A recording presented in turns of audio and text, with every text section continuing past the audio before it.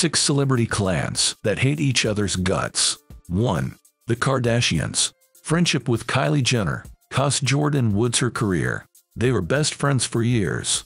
Woods was even considered part of the Kardashian family. Everything changed after the cheating scandal in 2019. Woods allegedly made out with Tristan Thompson. Thompson was Khloe Kardashian's boyfriend at the time. The Kardashians turned against Woods. Woods lost her connections. Jenner even evicted Woods from her guest house. However, they seem to have reunited recently. 2. The Osbournes. Kelly Osbourne revealed some family issues in her memoir. She became the caretaker for her parents at 19. Her mother, Sharon, was fighting stage 3 cancer. Ozzy was back on drugs at the time. Kelly wrote, I watched him scoop his hand into a bowl of pills, swallow a handful of something, and then wash it down with vodka. When Sharon had a seizure, Ozzy was out of it. Kelly had to help a nurse stabilize Sharon. 3. The Spellings.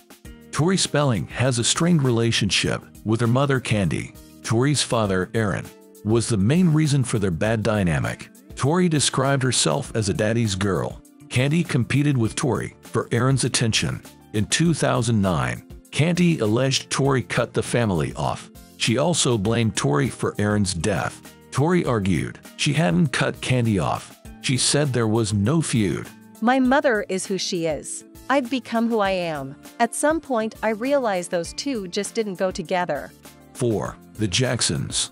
Michael Jackson's death worsened the family's relationships. Michael's mother, Catherine, became a guardian to his kids. She was reported missing in 2012. The incident coincided with fights over Michael's estate. The Jackson siblings accused the executors of fraud. Catherine's son Jermaine later said she was in Arizona. Her doctor had ordered her to take some rest. A violent spat occurred among the family members that year. In 2017, Catherine filed a complaint against her nephew-in-law. She accused Trent Jackson of elder abuse. Catherine was granted a temporary restraining order. The order was dismissed weeks later. 5. The Baldwins. Alec Baldwin called his daughter a thoughtless little pig. Ireland Baldwin was just 11 years old at the time. Alec's visitation rights were suspended as a result.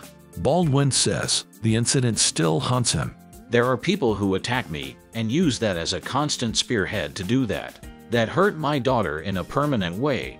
Ireland herself poked fun at the past. In 2015, she posted a photo with her father.